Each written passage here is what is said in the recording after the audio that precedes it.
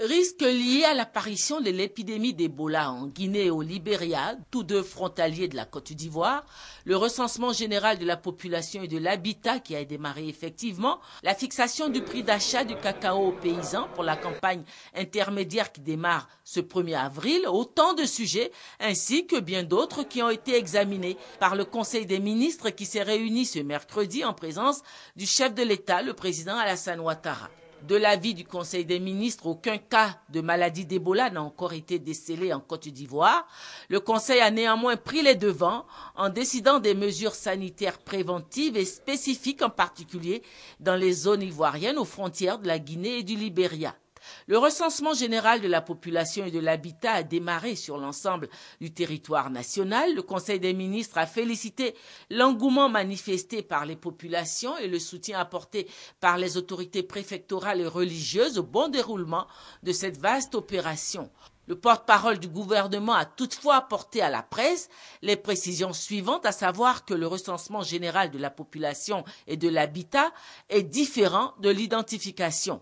Le recensement général de la population a un objectif de développement et l'identification est un recensement à but électoral. Le recensement en cours, il est important de préciser euh, que c'est une décision de l'Assemblée générale des, Nations unies qui est appliquée par tous les pays du monde. Et comme vous le savez, en Côte d'Ivoire, le dernier recensement fait date de 1998. Autrement dit, euh, dix ans après, en 2008, un recensement devait être fait. Euh, chacun sait la situation que notre pays connaissait en ce moment-là, ce qui explique que six ans après, ce recensement n'a pas été fait. Ce recensement est important pour notre pays parce que c'est ce recensement qui va permettre de remettre de la cohérence dans les schémas de développement sur lesquels nous travaillons en ce moment. Euh, jusqu'à maintenant, nous travaillons sur des bases qu'on peut juger théoriques. Et il s'agit de confirmer ces bases-là avec ce recensement, de façon à avoir des chiffres qui sont réels sur toute l'étendue du territoire. Et le porte-parole du gouvernement de qualifier de fausse querelle l'appel au boycott lancé par certains partis politiques à propos du recensement général de la population. Il faut sortir un peu des vues politiciennes de temps en temps, ce que certains n'arrivent pas à faire, ce que nous déplorons même quand on est de l'opposition, euh, il y a euh, des postures qu'on prend qui ne sont pas toutes politiciennes. De temps en temps, il faut prendre des postures qui sont en faveur des populations, qui sont en faveur du développement. Et quand un acte est posé en faveur du développement, il faut l'approuver.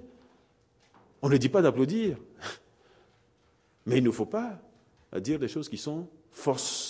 750 francs le kilogramme de cacao. C'est le prix d'achat du cacao aux paysans fixé par le Conseil des ministres pour la campagne intermédiaire qui démarre ce 1er avril.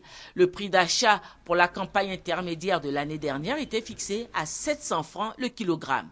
Les acteurs du monde culturel en Côte d'Ivoire ne seront pas en reste de la dynamique de développement impulsée par le président de la République Alassane Ouattara. En effet, un projet de loi sur la politique culturelle nationale dans l'objectif d'une meilleure protection du patrimoine national et d'une meilleure protection des droits d'auteur a été présenté au cours du Conseil des ministres de ce mercredi.